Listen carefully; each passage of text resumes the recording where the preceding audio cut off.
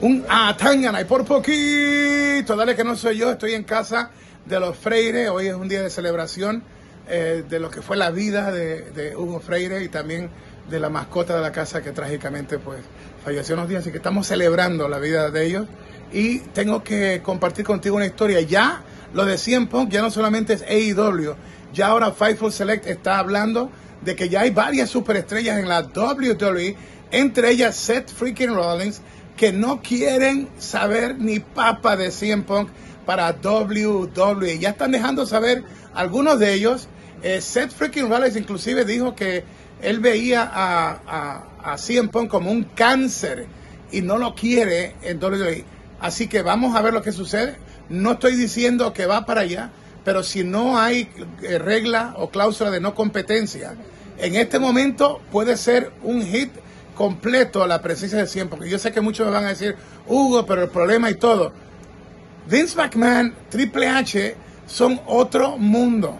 Y CM Punk ya estuvo en WWE.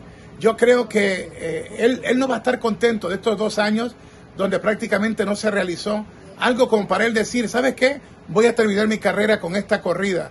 Mi pregunta para ti es, ¿será que lo que Fightful Select está hablando de que estrellas de WWE no quieren a CM Punk sea tanta la fuerza que se detenga? Les doy un ejemplo. Nadie quería que regresara Eric Bishop. Es más, Eric Bishop había estado un grupo que pertenecía a su empresa antes que había amenazado hasta con agredirlo.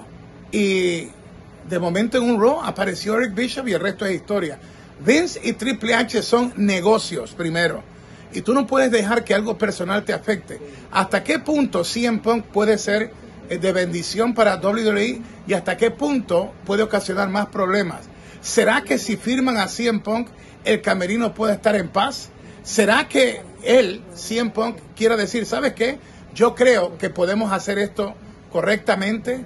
¿Será que tendrá otra oportunidad CM Punk? ¿O será que esto fue el fin de la carrera de 100 Punk. Recuerden que estaba ganando aproximadamente 3 millones al año con eh, AEW. Y si le terminó el contrato despidiéndolo, ¿hasta qué punto en el contrato tiene entonces Tony Khan que pagarle el resto de ese contrato? O si es justificada eh, el despido, eh, ¿cómo se brega esto a nivel de abogado? Por lo pronto no lo quieren muchas estrellas, entre ellos Seth Freaking Rollins. Hay un video ahora mismo que habla, él habla y dice que él, que él cree que 100 Punk es un cáncer que no lo quiere por allá. ¿Qué opinas tú? ¿Tendrá nueva vida CM Punk en WWE? Lo sabremos. Que Dios te bendiga. Recuerda, tú eres un original. No vivas como una copia. No te rindas. Atangana.